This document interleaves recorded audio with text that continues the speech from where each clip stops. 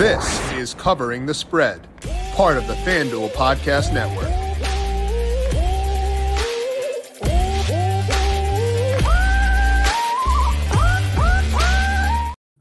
Week 18 slate of games is getting more intriguing by the day because we now know that I think the Bengals and the Ravens going to go full out with the possibility for that uh, that second round matchup, and the first round matchup being at a neutral site. I feel like the NFL has tweaked this thing in a pretty good way, which means we're going to have a lot of motivation for a good number of teams in week 18. We're going to break down where we can find value in the prop market based on that by talking to Tom Vecchio, getting his read on week 18 and let you know where you can find value in the prop market over at FanDuel Sportsbook. This is covering the spread right here on the FanDuel Podcast Network and NumberFire.com. My name is Jim Sannes. I am a senior writer and analyst for NumberFire.com. Joined here, as mentioned, by Tom Vecchio. Check him out on Twitter at DFS underscore Tommy, of course, is a senior writer uh, or a writer for us over at NumberFire.com, does our daily ISO NBA DFS podcast, does a lot of stuff for NBA TV NHL work. Tom is all across the board, but he's here with us today. Breakdown Week 18. Tom, uh, happy final regular week of the regular week of the regular season to you. How you doing? I'm doing good. Yeah, I think this is arguably one of the most interesting weeks besides uh, opening week, which uh, I'll touch on uh, once we get into things. But I think you know, no, like having all your like uh, your your T's crossed, your I's dotted, whatever it might be, and knowing the scenarios for different teams is vital this week. Uh-huh. Absolutely important.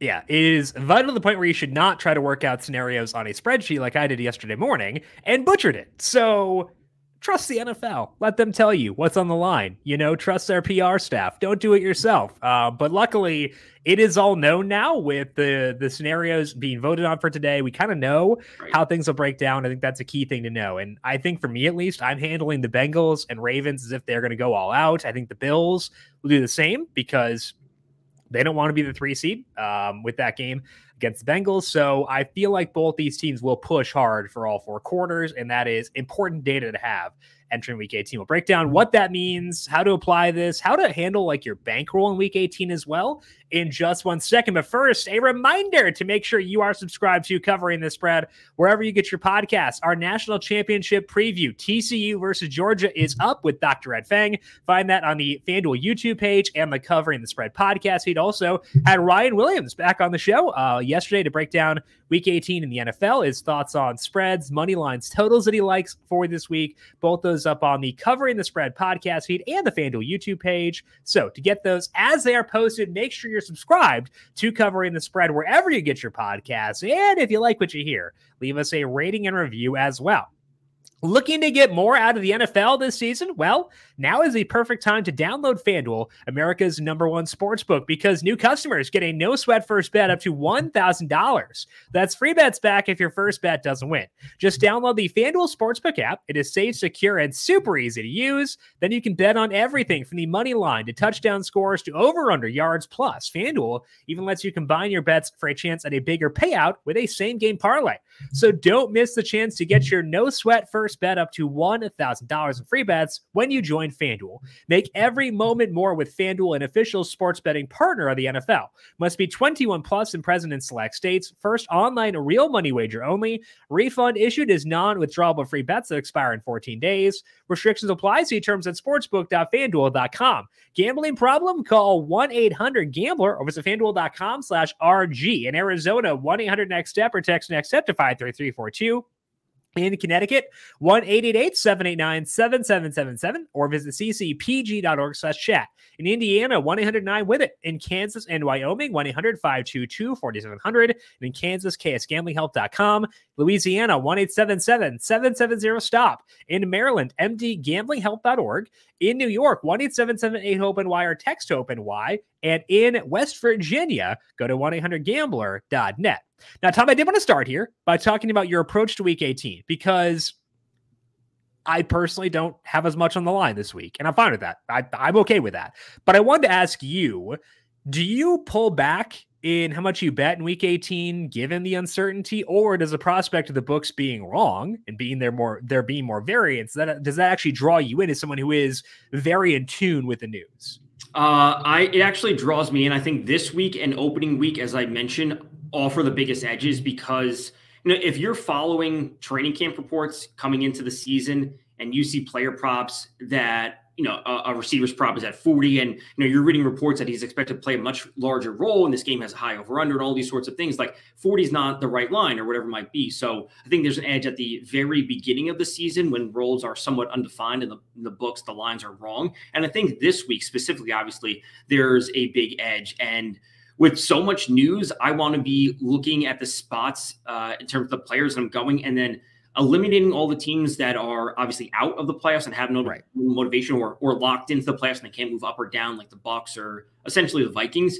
And then I want to focus in and kind of double down on the teams and the players that have a lot of motivation to play. So it actually draws me in more to have heavier exposure to the players that are in must-win spots. Yeah, so you are narrowing your list down, not dealing with the the nonsense, but on the games where everything matters, you feel better about your approach there. And I think that actually does make sense because it's easier to predict how teams will play things if there's everything on the line. That's why I love like playoff DFS because we're not going to see teams messing around with like a third string running back getting, you know, third down snaps. We're going to see snap rates increase on running backs and stuff like that. So I think that that thought process makes a lot of sense because this is effectively now playoffs. And I think that that is interesting. So narrowing down the list but still having the regular amount of confidence with the games that are left remaining. Now, you kind of alluded to this. Uh, there are some teams out there like the Bucs. The Giants may not play anyone at all. Like they might just not bother. I think the Bucs will start Tom Brady. That sounds like. And we could have teams like the Chargers that could have nothing to play for. Maybe the Vikings. I think they'll still push for the two seed, but you know, there's some risk there at least. When you got those teams that might start their starters, but then pull them later on, are you looking to grab unders potentially in those games, or are they just full full avoids for you? I mean, this is also something props get posted because they might just say "eff it" and not not post them at all. Right. That that last point is the most important one. Will props be available at all? You know, there was a report on Tuesday or Wednesday where Todd Bowles, the head coach for the Bucs, said that uh, you know Brady could be starting, might be starting, and they would rotate. Uh, you know, Kyle Trask in, rotate Blaine Gabbert in. It's like they're to have three quarterbacks. It's like I want every under under available for Tom Brady if they're posted, which they're obviously not posted yet. That's a spot that I would absolutely love to look.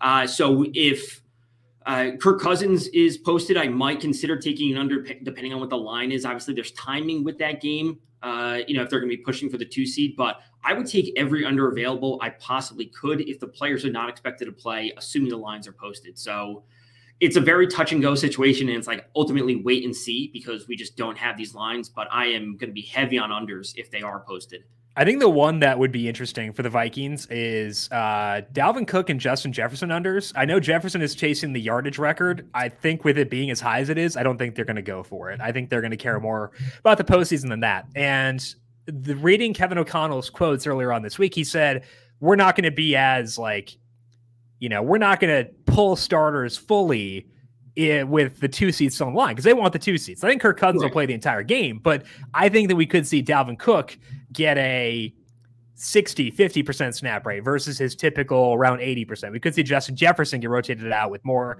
KJ Osborn, Adam Thielen in the mix. Uh, Jalen Nailor might play more in this game.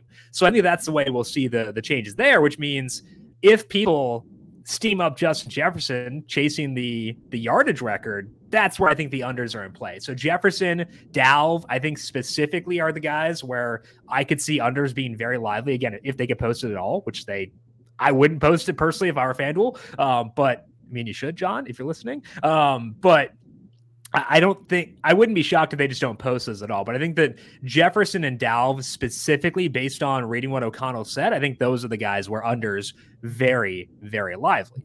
Now, those are not the fluid situations we're talking about for today. We got a lot of other fluid situations, you know, some backfields that may be in flux, uh, some passing games, stuff like that. When you're looking for fluid situations where you may see some volatility in the market, which situations are you targeting there? Uh, I think it comes with the, I think Chargers Broncos is probably one of the best examples. Uh, and that's simply due to the timing. And, and this is kind of just um, a, a, scheduling thing. Like there's no, I mean, unless they, they played at the same time, and this would be the referring to the Bengals and the Ravens, unless they played both at four o'clock. If the, what is it? This, if I have this right, if the Bengals beat the Ravens, then the Chargers clinch the five seed, and there's right. no reason for them to play any of their starters. Right. And that's the reason why you saw the spread move so heavily towards Denver. In, in um, crazy, crazy swing. Yeah, it was like it was Chargers minus three for the entire time. And then once it became clear that Bengals Ravens were going to be played at, at 1 p.m., but also they weren't going to finish the uh, Charger, the, the Bengals Bills games, that's where you saw the movement heavily towards Denver. Right. So now Denver's, uh, was it two and a half, right? Still? Yeah. Yep. So it, it, that's a substantial move. So if the player props are posted, that would be great. But we just don't know that yet. And that is just a, a factor of the schedule.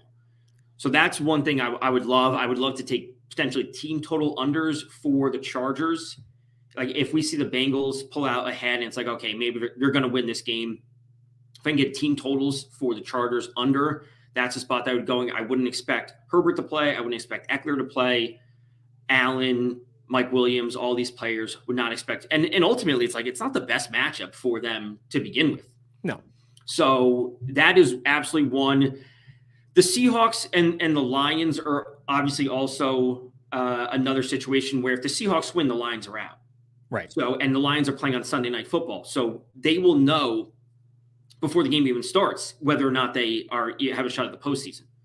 Which again is is just a kind of a, a it sucks because of the schedule. But if the Lions don't know, if the Lions know that they're out, where are they going to be going with their starters? I think they're going full bore because it's Dan Campbell. He's okay. a psycho.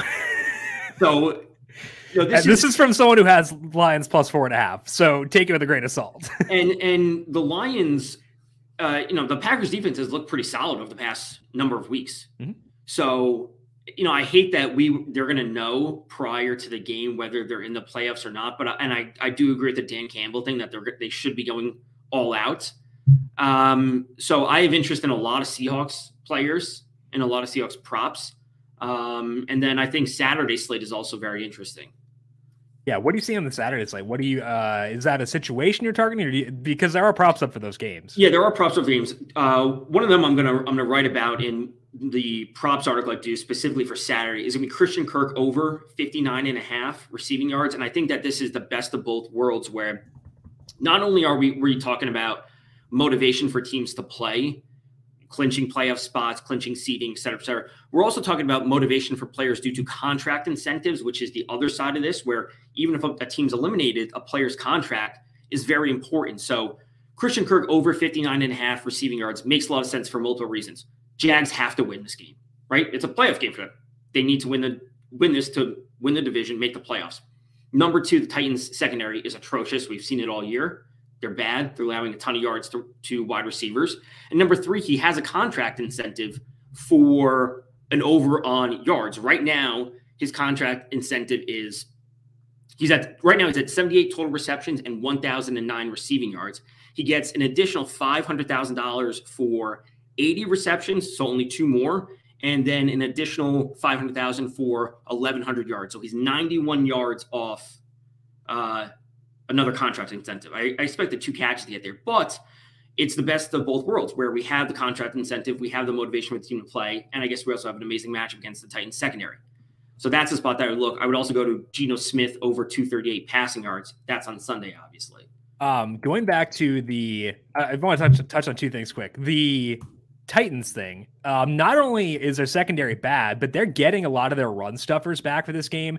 Jeffery Simmons, um, didn't play last week for obvious reasons. Um, you know, with they arrested um, a lot of people. They arrested everybody, but he's going to play for this week. Nico Autry also expect to be back this week, and that means that their ground, their rush defense, which is always good, is going to be even better this week than it has been. Which means we're going to see Lawrence probably chucking it quite a bit. I think he had like 368 yards in their first matchup, and that was a game where they were down the first half, but they won decently comfortably. He's a very good quarterback. So I think that both Kirk and Zay Jones are are very viable. I want to go back to the Lions too, because you mentioned them as being a team that but could potentially set starters. Now, when I see four and a half as a spread, that tells me that FanDuel is accounting for the odds that the Seahawks win their game. And there's no motivation for the Lions. I think they're kind of using the money line on the Seahawks side as being like a, a guide for the odds that the C- the Lions don't try. What's interesting though is that the prop market is different because they have FanDuel has Jamaal Williams rushing prop at 56 and a half. Jamaal Williams, when Justin Jackson has been active and when D'Andre Swift has been had his snaps up, he has been well below that number. Um, his role had evaporated before last week. And granted, he looked great last week. And it is a Jamaal Williams revenge game. I will let you know. But that's a big number for a guy whose role has been limited for a large chunk of the year. And it's not like it's sudden, they're suddenly in a must win game. They've been playing must win games since October with the way right, they started. Right.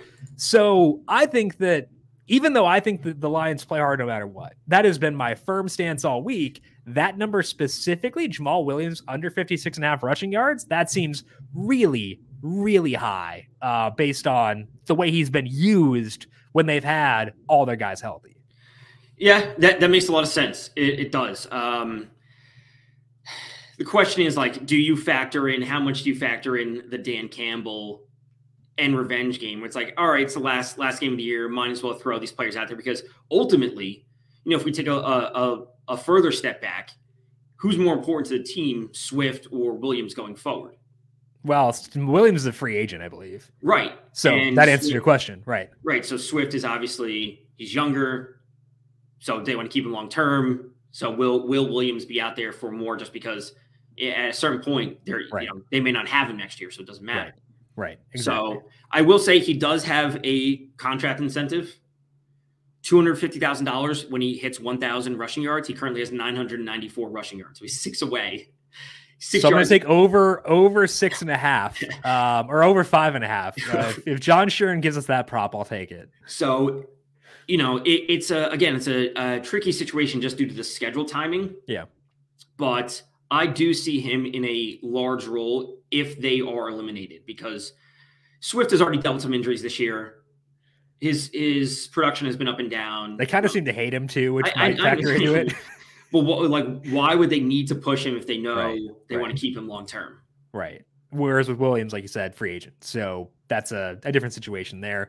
Um, I think with yeah, I can see that being a concern for sure with him. But honestly, I think it's it's fascinating to look at the juxtaposition of the way the props are handled versus the way the the spread is handled. Because I think I don't know. I think four and a half says to me they expect the Lions not to try, um, which is not the way I'm viewing things. I could be very wrong. I've been very wrong plenty of times. This would not be a first thing, uh, a first time by any means. Okay, we talked about some yardage props there with Christian Kirk and Geno Smith. What about touchdown props? What you liking in that market? Uh, you know, I would go back to Christian Kirk at plus 210, which is, I, I think, a, a, pretty solid number. Again, all the things I touched about incentive, uh, motivation for the team, great matchup versus the Titans. They should be pushing the ball downfield via the passing game instead of the running game. Plus 210 is pretty solid. Um, Diggs at plus 125 uh, is the one I want, want your opinion on. It's obviously not the easiest matchup, but the Bills clearly do have motivation to play. Um, so plus money on Steph Diggs is at least interesting when uh, or plus 115 now, I should say. Um, you know, anytime you get a, a, dominant receiver at plus money in an offense is a spot that I'm always considering. Yeah, I think that one is is borderline for me. Yeah, I think it's borderline. Uh, first time he faced New England, he had nine targets in that game, 92 yards. Um, the Bills will have high motivation to win this game, given they want to have that AFC Championship game on a neutral site. So I think they're playing regardless. That's a good thing as well. Um, I think that's that's that's an interesting. I tend to I get very wary of receiver props as they inch closer to even money. That always makes me like very wary. Running back, I'm a lot more laissez faire about. Uh, but for receivers, I get more skittish. But you look, if you look at Stefon Diggs so far this year, he has scored a game, uh, a touchdown in uh, counting all but seven games. So seven out of 15 games he scored in more than half of his games. Uh, eight out of 15 games he scored in this year. So I mean, that's definitely interesting there. I probably wouldn't take it myself, but I believe you could correct me if I'm wrong. I believe the last time I tried to talk you out of a prop, it was a Tyreek Hill anytime touchdown. Uh, and then he scored like two touchdowns that game. So I didn't talk you out of Mike Evans last week. That didn't happen. No, try that. Um, but I think I tried to talk you out of Tyreek Hill so if we use the Jim is wrong narrative, Diggs at like minus 300 is like fair value at this point. So if you're going back to your your point about running backs and their lines or touchdown props, yeah. how do you feel about Derrick Henry at minus 115? Uh I have the Jags minus six, so okay. those two are uncorrelated. Uh, obviously, and I can't being objective about it. Right, I can't uncross my brain out of like I think the Jags. I have the Jags fair by eight in this game, um, which means a they could just throttle the Jags or the Titans, and Titans may not score a whole lot. Um, and B, if it's a negative game script, I think Henry should still be in there. If I were coaching, I'd keep him out there as a pass catcher still. But will he be? I think those are two separate things. So if I were looking at that game, you know, ETN's situation is pretty tough, um, given how good the Titans' rush defense is. But he's he got three targets before he got pulled last week. I think that's kind of intriguing. Um, I think I'd prefer actually ETN over Henry. His red zone role is very good, and that might seem egregious because ETN's minus one ten, Henry is minus one fifteen. So it might be un unearthly dumb to go with ETN over Henry, but I feel like I prefer that one personally. Okay. And then the the last spot that I want to note would be the Steelers. Mm-hmm. They obviously have high motivation, 100%. They need a win. Um, Kenny Pickett's passing prop last time I saw is only 195 and a half. He's been inefficient is uh, uh, in some games I think is is the nicest way to put it, but he is throwing the ball a lot. Like we're we're talking about high volume of passing attempts overall. Right? Where, where some of these games high 30s, low 40s of passing attempts. So the inefficiency is obviously noted and you know we see him crossing this line at a, a very modest rate. It's not like he's blowing past this, but motivation to win, um, high volume of passing. It's a modest number overall. I'm at least intrigued on the Steelers this week. Is the point I'm making. I like that whole team this week. Um, well, yeah, which, mean, what could go wrong, right? what could go wrong with me needing to start uh, Jaylen Warren in a in a must win consolation bracket? A lot could go wrong there. Redo. Not gonna lie, yeah, a lot could go wrong there. Uh, but with the Pickett one, I'm fine with that. I think that's totally fine uh, because you mentioned that he's been inconsistent. I think that's totally fair, but he's been like on the whole since their bye week. His efficiency numbers have been good, and that's without Chase Claypool, which maybe it's addition by subtraction. Who can say? Um, but like his efficiency in that time has been good, especially in the games that Pat, Pat Freiermuth has been there. Um, he had a game that was like a partial game because he got, you know, he got a concussion there, missed right. the next game. But like his broad efficiency numbers, he's been like just a hair below average, which that's not bad for a passing prop under 200. And now Jadeveon Clowney got sent home uh, from, from practice this morning for the Browns. He's not going to play on Sunday. Uh, that that I think that benefits both Najee Harris and Kenny Pickett. So Harris actually I think is also a spot I'd want to turn to once uh, yardage props are up. They're not up at FanDuel right now, but I think looking at Harris rushing plus receiving numbers, Harris anytime touchdown numbers, uh, Pickett. I think is in play. Pat Freiermuth, depending on the number, more so for him. But I think all those guys are very, very lively this week. Um, and then the final one for Saturday is um, or two for Saturday, both Chiefs players. Okay. Juju is very close to some extra incentives as well. He has 76 receptions and 898 receiving yards. Uh, and he has some incentives to get to, uh, was it uh, 900 or yeah, over 900 yards. So okay. he needs t- two yards to get an additional 1.5 million dollars. Wow. uh, so that's that's kind of important. Uh, and then Mahomes is approaching the single season passing record. He's 430 yards yeah. away, which is which is a lot. Right. 430 yards is a lot in any game.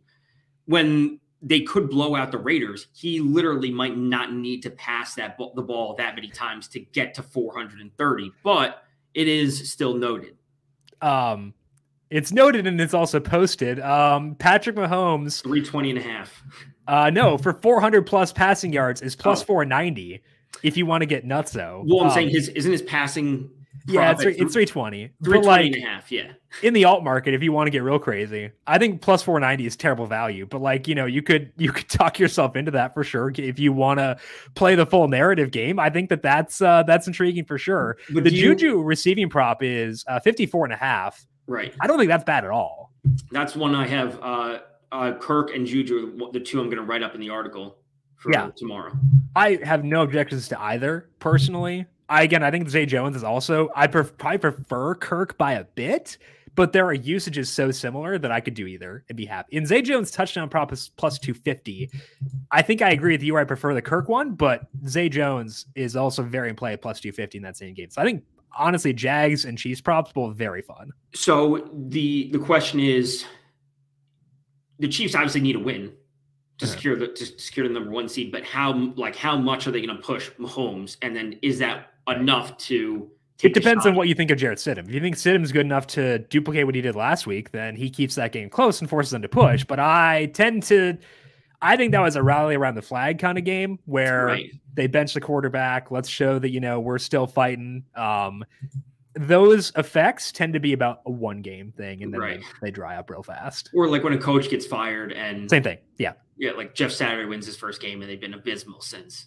Absolutely. Um, if, that was also the Raiders uh, that they beat in that game. So maybe some, some, uh, some correlation in there. I think that the, so I, I've got the Chiefs pretty heavily favored in this game. Um, I haven't bet nine and a half because I've got a little bit. I was like, uh, but like I think nine and a half is like very, very much a consideration. And with that being the case, it might scare you away from Mahomes specifically. I don't think the Juju one is concerning because it's it's low enough where it's actually fine. But I think for Mahomes specifically, that's enough where I wouldn't be chasing the the 400 plus at plus 490.